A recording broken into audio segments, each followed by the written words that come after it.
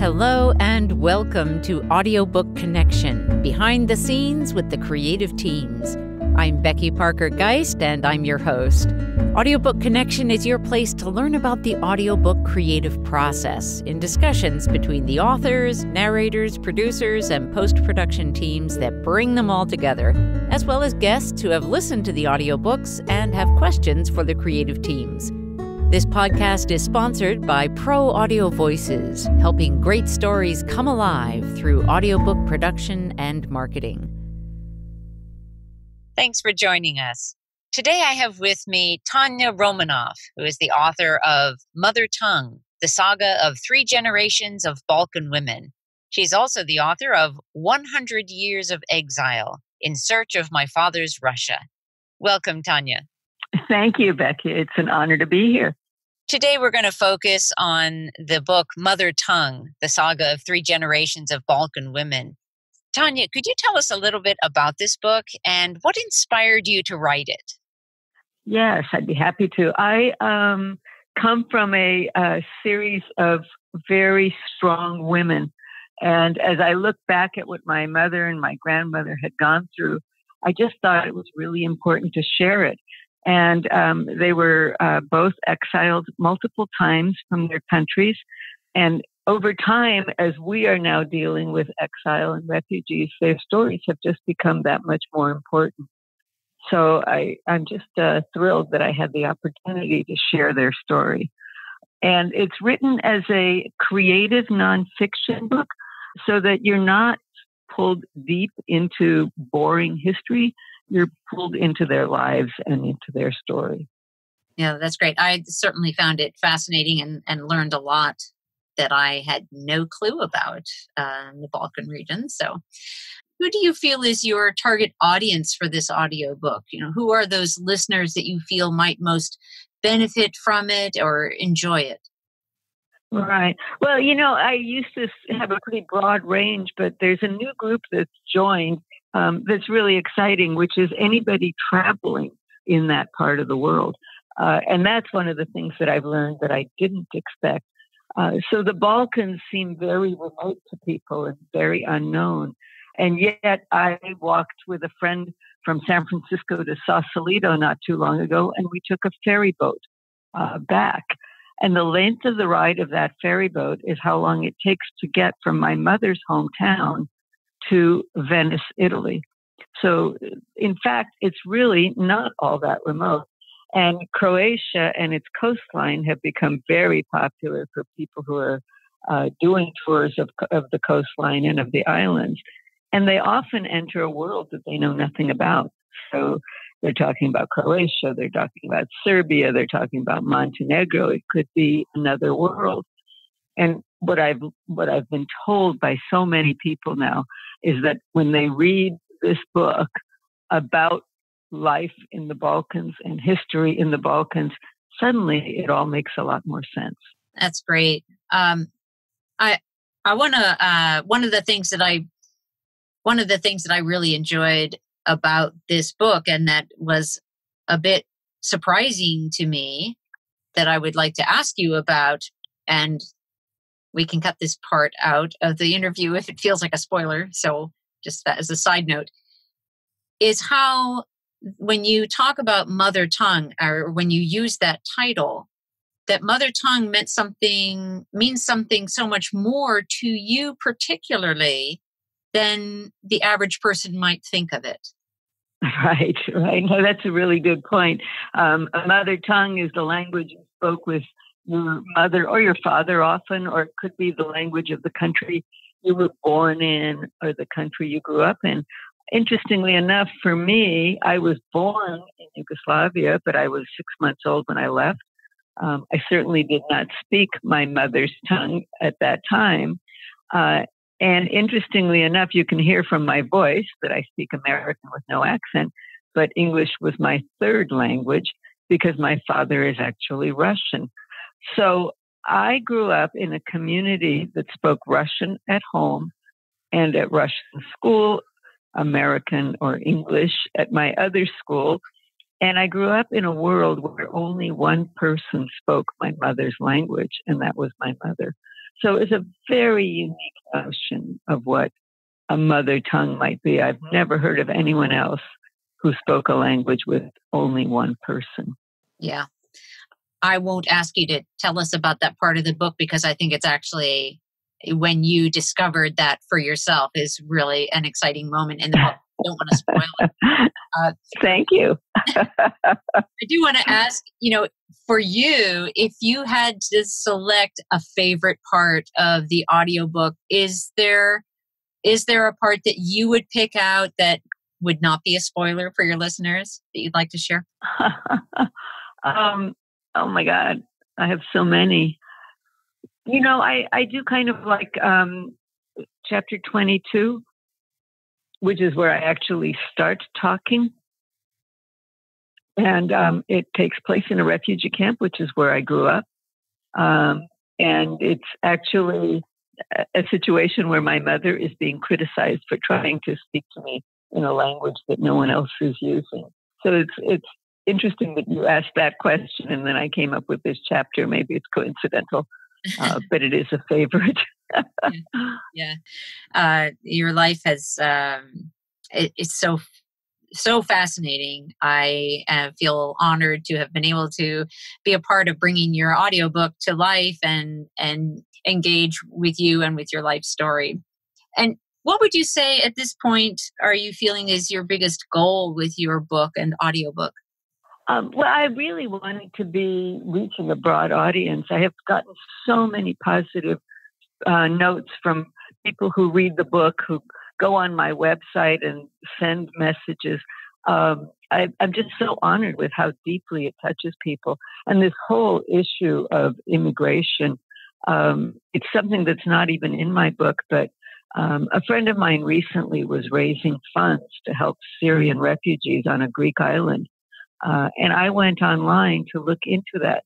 And I discovered an island called Lemnos, which was right next to the island that she was on called Lesbos.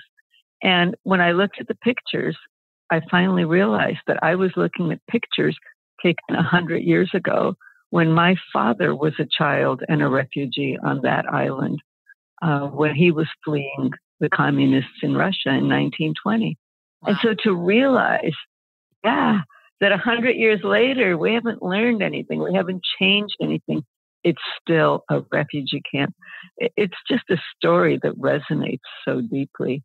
Yeah. Uh, and this, this, uh, I want to follow up and reiterate with uh, what you're saying about the whole um, immigration and the situation with refugees. And this is certainly something that so many people are facing challenges with. And I would love to hear what you have to say about how this experience and some of these these experiences that you had and that you talk about in this book that others from other parts of the world, other cultures that are also in an immigration, emigration, refugee kind of situation would find uh, that they would relate to that? That's a hard one. Um, I, I will just say that there are so many refugees in our country, and if you look at my background, the success that I've had uh, is incredible coming from basically nowhere and starting with nothing.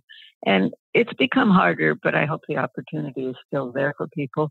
And I hope just seeing examples um, of that happening might inspire people as they're going through some really challenging times. Yeah. Let's pause for a moment. We'll be right back. Here at Pro Audio Voices, we love working with authors who have a big goal in mind. They really want to reach out to their audience around the world.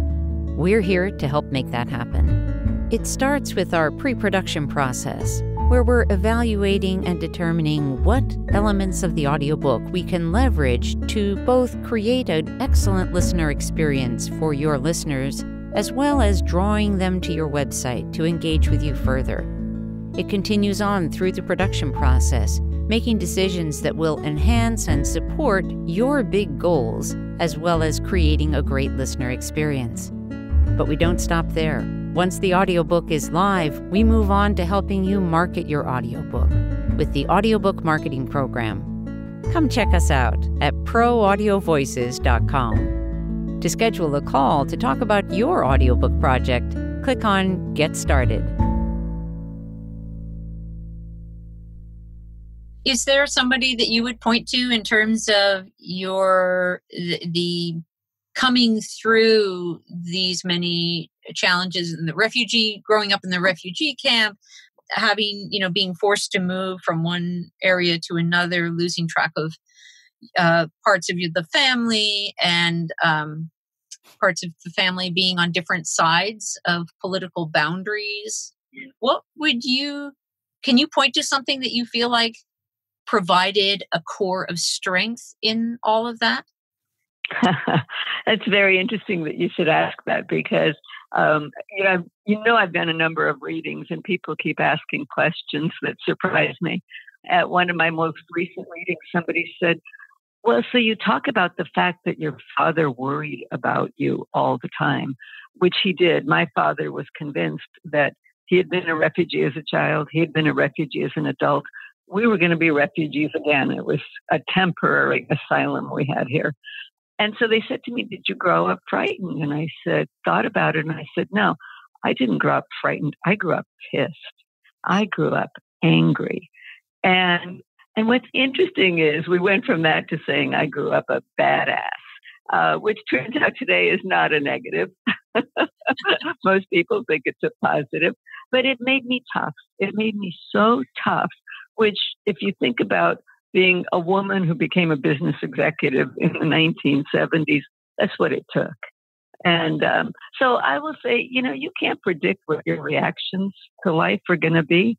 Uh, but sometimes out of, you know, some very challenging circumstances come the characteristics that make the difference for you. Yeah. So I don't know if you can uh, are able to sort of take your mind back to before we got started with the audiobook and uh, do you remember what was your biggest challenge in regards to that whole process in the beginning before you started?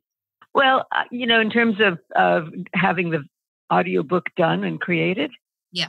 Yeah. Oh, yeah. No. Um, first of all, I, I don't even know if I told you why I went on that challenge um, I was talking to my daughter in law about the book. And I said, you know, I really want the grandkids to read it. And she said, you know, it's much more likely that Baker will listen to your book than read it. And that was my 13 year old grandson. And I said, of course. That's true for the whole young generation. And by the way, a lot of people have already read the book, uh, listened to the audiobook. And then I decided I would try and do it myself. And um, so, in fact, I think I called you and asked you for advice on that. And when you finished explaining to me how I would have to learn how to breathe or not breathe, and that it would be probably more complicated uh, and more expensive to do that than to have you do it for me, I got started on the final path, which was working with you. And then, of course, what we have is a book that is embedded with expressions in Serbian and Croatian and Russian. And I needed someone who could learn quickly. And so that was really fun. And it was really fun listening to you start with very little experiences, I would guess, in Serbian yep. and ending up sounding like a pro. Oh, thank you. oh, I've had so many people say to me, wow, she sounds like she really knows that language. oh, that's good. That's good. If you um, if you had a piece, one piece of advice for authors that are in a similar situation to your own before you got started in this, uh, the process of the audiobook, what what might that be? Oh, that's interesting. Um, I would definitely always recommend doing an audiobook. I, um, I think having the excerpts on your webpage is important and having it easily accessible or having the excerpts available on Amazon's webpage or whatever webpage the audio people are going to find it at. I, I just think that's so invaluable because it makes the book feel more personal. Um, so I, would say that's important. Um, I kind of like the idea of launching it a little later. Um, so, you know, in retrospect, I suspect I might launch a book first and then an ebook and then an audiobook or you know some other order. But I I actually like the idea of having a small gap uh, between the launches. Yeah, yeah, nice. So uh, you had a publisher for your print book, and could you tell us how that worked out? With did they also handle the audiobook, or or uh, how did that work out for you?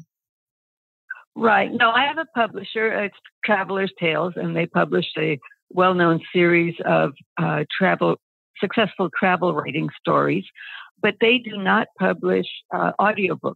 And so it works very well in conjunction. You know, they manage the print, um, and um, I manage the audio. And in fact, Becky manages it for me. Yeah, great. So, so many different, so many different um, pieces of the culture clash and culture integration questions in this book fascinating. Right. No, there are a lot of them. And yeah, language is a funny one. And I'll just share another story. And I, it might be in the book. I think it is. I, I remember drive uh, going downtown in a bus with my mother because we were shopping and um, she practiced the whole way down how she was going to ask for bedding. And she walked into the uh, store right up to the department, the bedding department, and asked for the shits.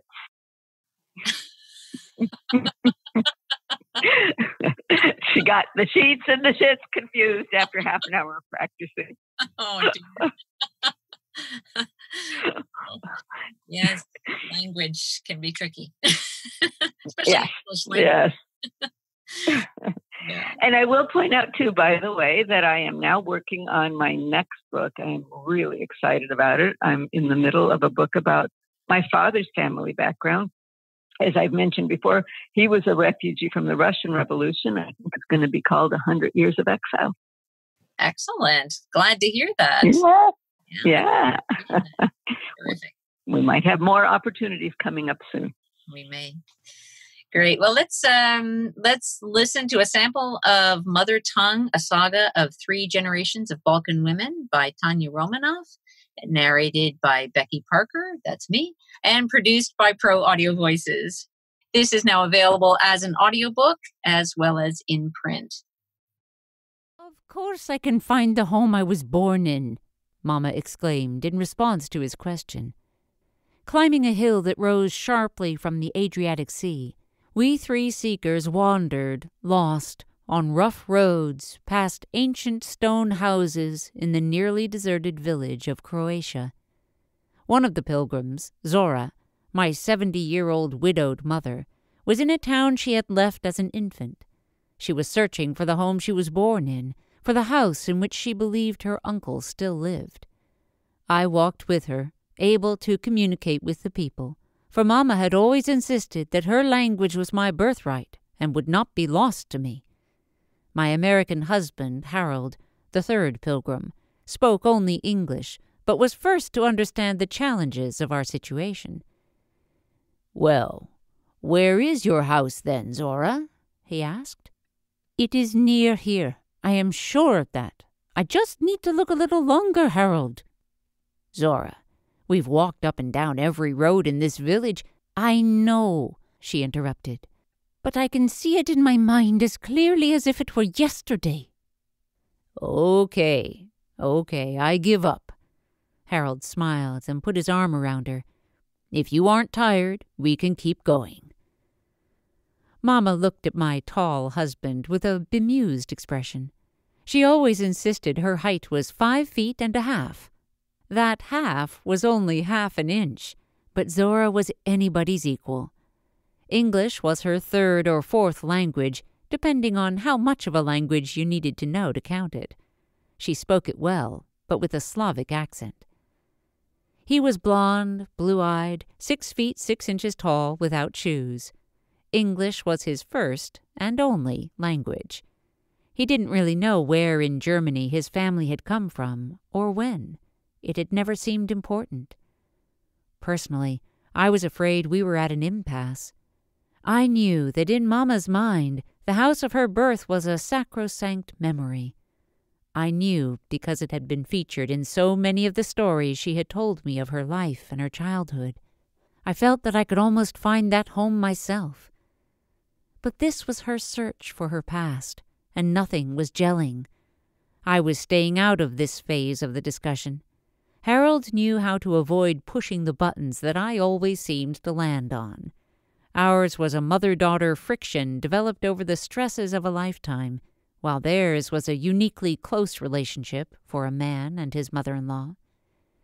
This trip represented an important turning point in our lives. Zora had been struggling since the death of my father a few years earlier. Diminished and listless, her step had lost its bounce, her eyes their challenge. She rarely went out, and didn't want to venture far when she did. Then, unexpectedly, she decided it was time to reconnect with her family home. Tis nash Tanya, she said to me. Ne możemy vija czekati. You know, Tanya, we can't wait forever for this war to end. That sentence of Zora's was a key milestone, and Harold and I quickly moved to support her desire. Unfortunately, Zora's personal struggles had come neither at the beginning nor the end of the problems for her troubled Balkan homeland. At the time of our visit, in 1992, the Balkans were once again at war. It seemed this one would destroy the country of Yugoslavia for good. A few months earlier, Harold and I had been sitting in the kitchen where I had spent my childhood.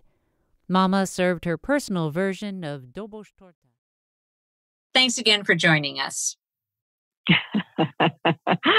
Thank you very much. Thanks for joining us for Audiobook Connection Behind the Scenes with the Creative Teams please take a moment to subscribe at audiobookconnection.com. The podcast is sponsored by Pro Audio Voices, helping great stories come alive through audiobook production and marketing. Learn more at proaudiovoices.com. Again, thanks for being with us, and please join us next week.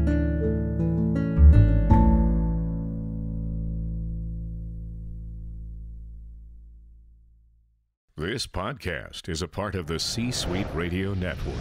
For more top business podcasts, visit c-suiteradio.com.